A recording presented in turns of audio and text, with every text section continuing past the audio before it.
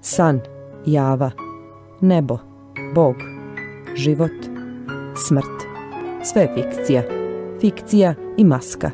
Važno je da šeta. Oholo šeta otmeno mazga.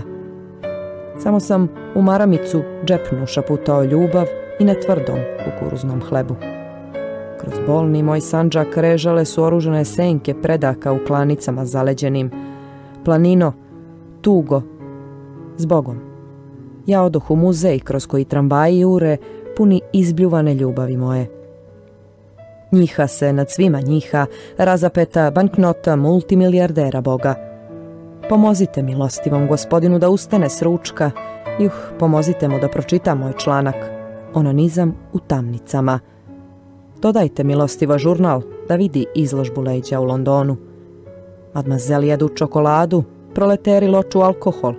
Svuda jasna ili nejasna zapoved. Pokri se ako ćeš ga živjet.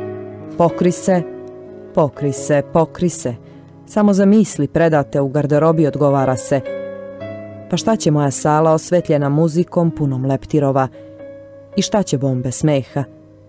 Sve je muzej.